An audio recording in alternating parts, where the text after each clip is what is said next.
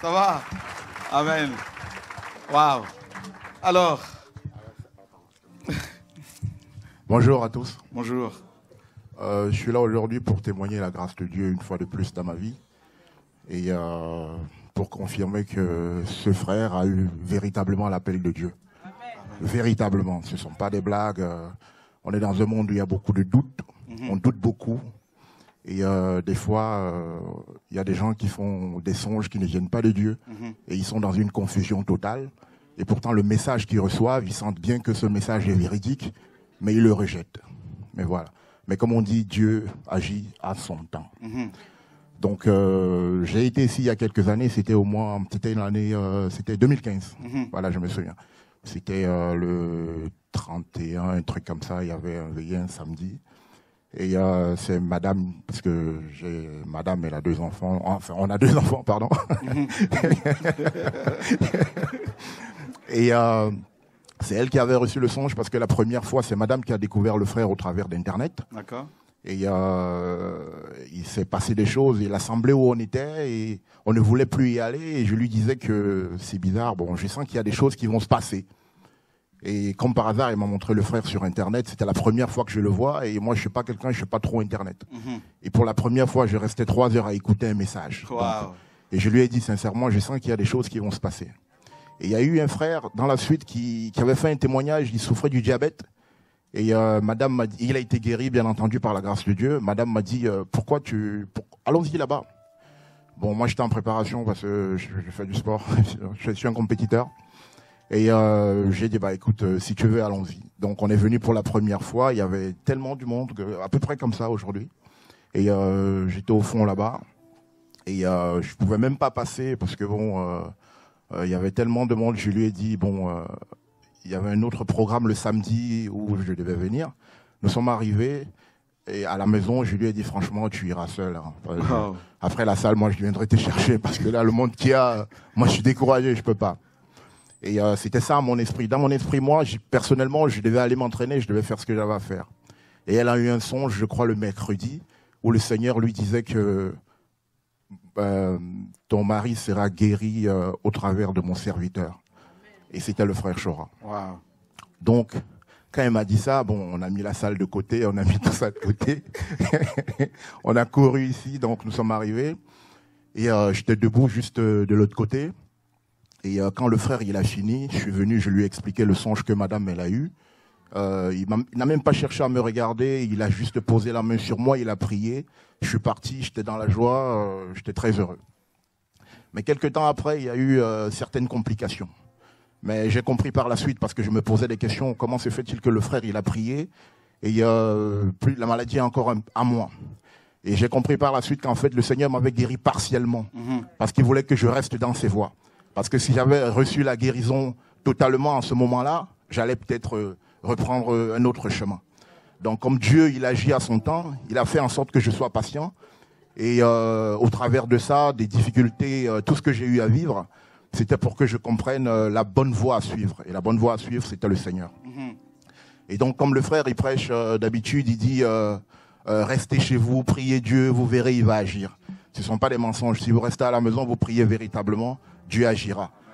Mais pour ça, Dieu nous demande de marcher propre. On ne peut pas avoir un pied dedans, un pied dehors. On ne s'amuse pas avec Dieu. Tout ce qu'on fait, Dieu voit. On peut tromper les hommes, on ne peut pas tromper Dieu. Et, et en vérité, j'ai fini par réaliser que nous, chrétiens, il n'y a pas plus peureux que les chrétiens. Et pourtant, nous avons le Dieu véritable. Nous avons cette grâce où Dieu nous montre des songes. Il nous parle au travers de sa parole. Mais malgré ça, on doute. Il y a le doute qui nous envahit. On dit oui, peut-être que c'est mon esprit. Euh, euh, non, c'est pas possible. Non. Et en ce moment-là, on est dans les difficultés. Et on se dit, ça y est, c'est fini, il m'a abandonné. Dieu m'a abandonné, il n'est plus là. euh, regardez, euh, je n'arrête pas de, de... C'est dur. Oui, c'est dur. Dieu n'a pas dit que ça allait être facile, frères et sœurs. Voilà. C'est dans la difficulté que Dieu nous enseigne. Voilà. C'est dans la souffrance que Dieu nous montre ses voies. Dieu ne nous montre pas ses voies quand tout va bien, tout ce que tu veux, tu l'as. Non. La bonne voie que Dieu nous montre, c'est la souffrance, la difficulté, l'humilité, la simplicité. Donc c'est dans toutes ces choses que j'ai pu expérimenter la grâce de Dieu. Et il y a quelques jours, il y a trois semaines, à peu près un mois, j'ai fait un songe. Je vous dis les choses sincèrement, parce que je le dis parce que je l'ai vécu. J'ai fait un songe. J'ai fait deux songes en fait. Le premier songe, je suis en train d'aller, euh, je, rentre à la maison où j'habitais euh, au, Cameroun parce que je suis originaire du Cameroun, j'ai grandi au Cameroun. Je rentre à la maison, il y, a un petit cours d'eau juste comme ça, et dans le cours d'eau, je voyais un serpent. Le serpent, il, avait la forme de l'eau, il était à couleur cristal et tout, donc il était caché dans l'eau. Et moi, je me dirige vers la maison, je vois euh, un homme qui porte une couronne d'épines, qui pédale un vélo. Je vous avoue, j'ai rien compris. je me suis dit, c'est quoi ce truc? Jésus pédale, il fait quoi euh, euh, Non, il y, a un problème. Et le deuxième songe, le Seigneur me dit, va voir mon serviteur, je l'ai rempli de mon onction en ce moment, va, il va prier pour toi, tu guériras. Et là, je me suis levé, j'ai appelé mon... J'ai un ami qui est là, il s'appelle Ken. Voilà, c'est avec lui que je m'entraîne. Je l'ai appelé, je lui ai dit, Ken, écoute, il faut que tu viennes. Quand tu finis le travail, viens me chercher, il faut que j'aille voir le frère. Parce que si j'avais pas eu le premier songe, je vous dis la vérité. Vous savez, quand on est en Christ, on cherche tellement la guérison. On cherche tellement la guérison que des fois, on, est fatigué. On est dans le découragement. Mais ce n'est pas le moment. Dieu agit à son temps. Donc, en ce temps-là, je me souviens, si j'avais pas eu le songe où j'ai vu le Seigneur Jésus sur le vélo, je ne serais pas venu. Parce que je me serais dit, c'est encore mon esprit, je doute, je suis dans le doute. C'est pas possible parce que ça fait un moment, j'attends, et il n'y a rien.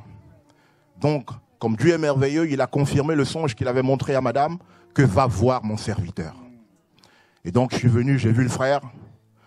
Euh, je suis arrivé ici, il était 15 euh, heures, je crois. Je l'ai attendu. Euh, il est arrivé quelques temps après. J'ai dit, Seigneur, je pars là-bas, je réfléchis pas.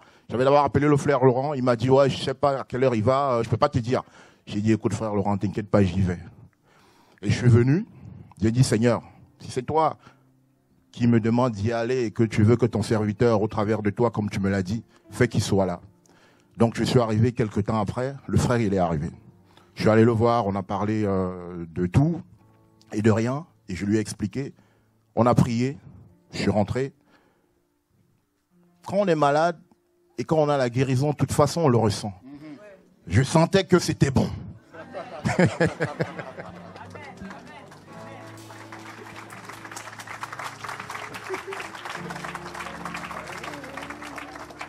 Je sentais que c'était bon.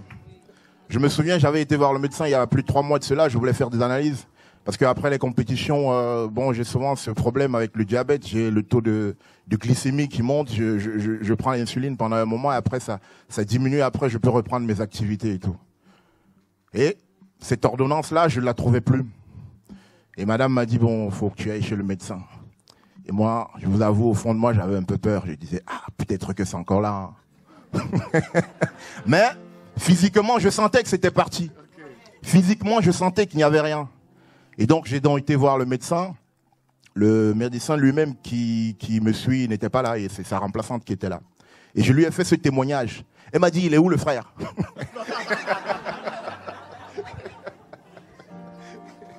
Je lui ai dit, avant de te dire quoi que ce soit, laisse-moi d'abord confirmer ça par les analyses, les résultats d'analyse et après je pourrai te faire des déclarations en personne.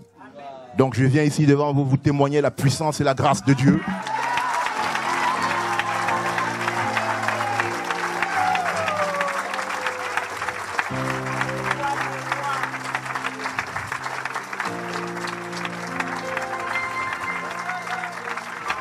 Les analyses,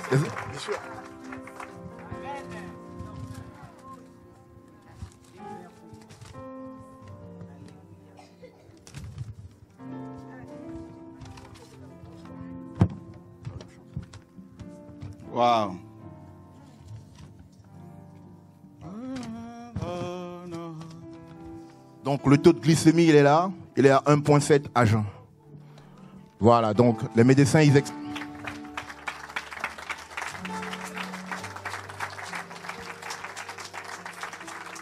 Laboratoire de... Voilà. Merci beaucoup. Laboratoire de biologie médicale. Waouh. Donc, je me souviens bien que quand j'ai vu les analyses, euh, c'était euh, hier, je suis allé les chercher. J'étais euh, abasourdi. J'étais complètement sous le choc. Je me suis dit, en fait, Dieu est véritable. Voilà. Et que peu importe les moments dont vous vivez actuellement, parce que on passe tous par des souffrances, des épreuves, des fois elles nous dépassent, mais Dieu ne permet jamais une épreuve qui est plus forte que nous. Et au travers de toutes ces épreuves, c'est au moment où on a le sentiment que tout est fini, tout s'est arrêté, que Dieu se manifeste. Donc je tiens vraiment à, à remercier Dieu de tout mon cœur. J'ai encore euh, un petit témoignage à faire parce que au moment où j'étais venu ici voir le frère, je me souviens que après une compétition, euh, j'ai eu pas mal d'argent et j'avais mis de l'argent de côté pour euh, pour faire une action de grâce. J'avais mis l'argent dans les vêtements. Le problème, c'est que je suis revenu pour chercher l'argent j'ai plus trouvé l'argent. J'ai cherché, j'ai dit à madame, écoute, mais c'est bizarre. Elle me dit non, tu l'as mangé. J'ai dit- J'ai dit non, je te promets, j'ai rien mangé. J'ai mis ça de côté pour, euh, pour remercier le Seigneur. Et aujourd'hui, je vous dis, hein, aujourd'hui, j'ai mis les vêtements de côté parce que je devais apporter les vêtements pour les orphelinats et tout. Donc j'ai mis le vêtement de côté. J'avais un vêtement que je devais donner à mon pote là. Je l'ai pris comme ça, j'ai soulevé, l'argent est tombé.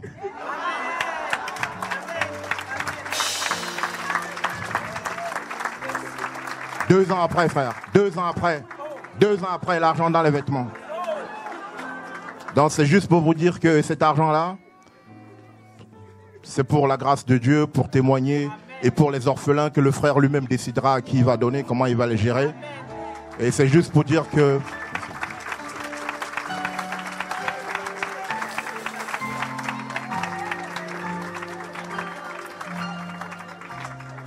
c'est juste pour dire que Dieu est véritable. N'ayez plus de doute. Si vous en avez eu, n'ayez plus de doute. Restez ferme, peu importe la tentation. Parce que le diable est puissant, mais Dieu est tout puissant.